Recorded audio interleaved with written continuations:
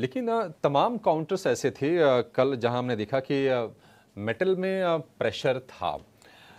Cell Hind copper NALCO ये F के stocks में अगर निफ्टी की बात करें तो ऑफ़ कोर्स ये Tata steel Hindalco JSW steel में हमने प्रेशर देखा।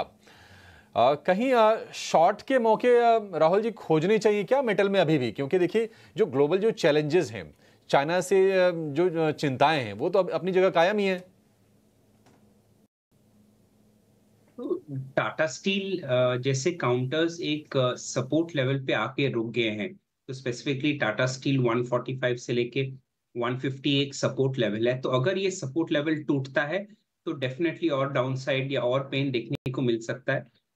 हिंडाल्को की अगर हम बात करें तो एक सिमिलर स्ट्रक्चर पे है।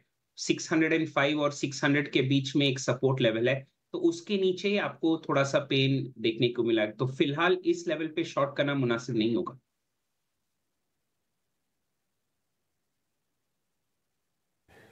शॉर्ट नहीं करिए। मतलब यह आपके लिए राय लेना ज़रूरी थी क्योंकि कल के हेवी सेल ऑफ़ के बाद ये लोगों के मन में सवाल उठ रहे थे कि मेटल में क्या करना है, क्या वहाँ पर और पेन है। ज़्यादा उसमें आपको मौके नहीं खोजने चाहिए। भारतीय एयरटेल इसके नतीजे आए थे। दो दिन में हमने देखा कि पंद्रह सौ रुपये से शेयर गिर के चौदह सौ सत्तर रुपये के आसपास आ गया है। हालाँकि कल आखिरी के घंटे की ट्रेड में अगर आप देखेंगे इसके चार्ट को ना, थोड़ी सी रिकवरी ज़रूर भारतीय एयरटेल ने। नंबर्स इसके अनुमान के मुताबिक हैं।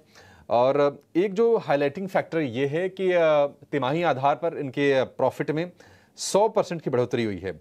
दो हज़ार बहत्तर करोड़ से बढ़कर 4,160 करोड़ रुपए। मार्जिन में हल्का से इंप्रूवमेंट है आय दो परसेंट बढ़ी है। जरा इसका चार्ट चेक कीजिए आप वैशाली जी। भारतीय एयरटेल क्या एक ट्रेड यहाँ पर लेना चाहिए तेज़ी का?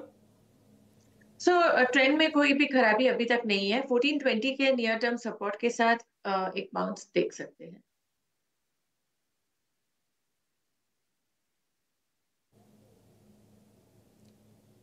ट्रेड लें इसमें तेज़ी तेज़ी करें। टारगेट क्या होगा आपके? तो 1420 के स्टॉप लॉस के साथ तेज़ी कर सकते हैं। फ़र्स्ट टारगेट रहेगा 1520 ठीक है चौदह सौ बीस रुपए का स्टॉप लॉस पंद्रह सौ बीस रुपए का टारगेट बीच में खड़ा है ये शेयर चालीस रुपए नीचे का स्टॉप लॉस लगा लीजिए। ऊपर पचास साठ रुपए के लेवल के लिए आप इसमें तेज़ी करके चल सकते हैं। शेयर पीएसयू के शेयर ये भी बहुत टूटे। और कहीं ना कहीं ओवर वैल्यूएशन वाली भी चिंता थी। राइट्स ने कंसल्टेंसी के लिए हडको के साथ करार किया है। कल हमने देखा कि चौतरफा बिकवाली थी। आप रेलवे का कोई भी शेयर उठा के देख लीजिए, आपको पाँच परसेंट, सात परसेंट, आठ परसेंट टूटता हुआ दिखाई दिया। विनीत सर ये राइट्स का जो करार है हडको के साथ, कितना इंपॉर्टेंट लग रहा है? और क्या रेलवे में जो करेक्शन आ रहा है, इसको बाई करना चाहिए? या फिर चूँकि वैल्यूएशन थोड़े से फ्रॉथी हो गए थे थोड़ा सा संभल के पोजीशन ले वहाँ पे। के रेलवे काउंटर्स में फ्रॉथी करेक्शन डेफिनेटली कम हो रहा है। ये अच्छी बात है। और हम एक्सपेक्ट करते हैं कि इसमें एक बाउंस बैक ज़रूर आएगा जब मार्केट कभी संभल लेगा तभी। जहाँ तक राइट्स और हुक्को की करार का सवाल है, हमें लगता है कि ये प्ले आउट होने में थोड़ा टाइम लगेगा।